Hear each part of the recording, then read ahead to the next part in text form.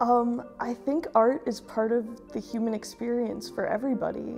You know, there's verbal communication and visual communication can express things that words just sometimes can't. There's vibes that can't be expressed with words. I'm Maida Jaspersen and I'm a studio art major here at Bethany Lutheran College.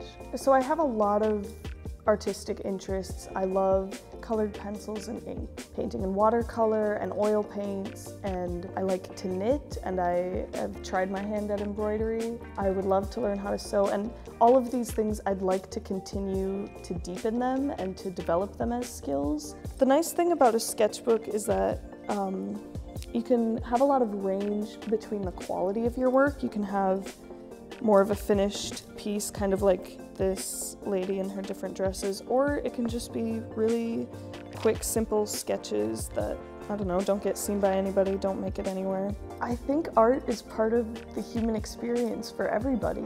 First off, everything we consume is influenced by artwork or just is artwork. So many advertisements and anything you see on your phone and the fact that somebody designed your phone and the clothes that you wear.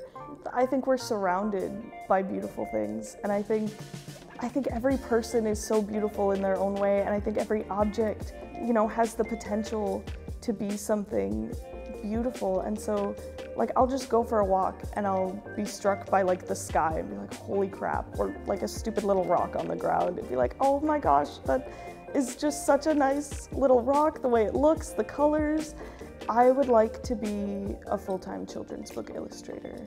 I think it allows me to present important topics and subjects in a way that kids can digest them because kids are very intelligent. You can give them really difficult stuff. It's more that you need to hold their attention and, you know, fun, bright colors and characters do that better than just words on a page usually.